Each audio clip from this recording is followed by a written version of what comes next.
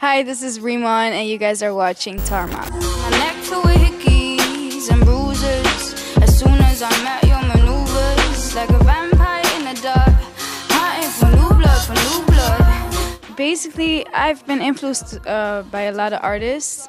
So people like Erykah Badu, Lauryn Hill, and like my producer Samuel Karim. He's really into like the old school vibes, and he makes all the beats. So that's like his signature thing in a way.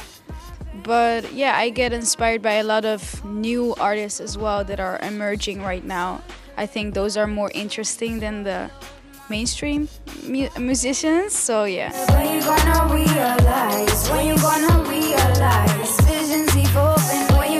The song "Realize" is more of um, it's about um, to myself and to my mom that we have to realize that everything is gonna be better. So it's more of a message. Uh, like don't worry everything's gonna be okay and yeah i think you, uniting people especially in these times is a really important task you know i'm not sure if i'm the one to do that but if you can have like a positive influence on the world right now of course.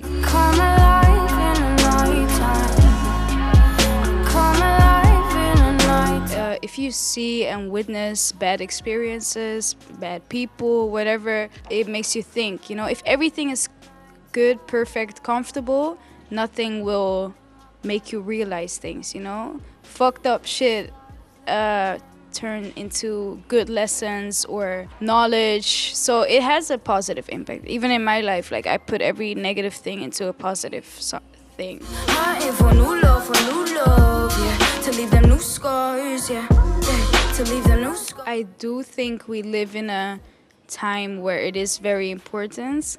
For instance, like sometimes I just want to throw my phone away but I can't, you know, because it's especially as uh, if you're beginning as an artist, it's very important. So um, if you're settled, if you have one album that slaps like Frank Ocean, you can disappear for five years, have no social media, and you're good, you know. But in this time, me, I'm still like coming up, you know. So for me, it's really important to get my name out there, even though I don't feel like it sometimes. But it is part of the of the game now, unfortunately. I dance with grace, relieve the pain, erase the Dropping a new video in April from my uh, EP, and that's gonna be like the last video of all the videos we've done for the EP. And then I'm just gonna do new music, new stuff, maybe an EP. I don't want to be like, okay, I'm gonna drop an EP and nah, I just make music and then see whatever comes out of that.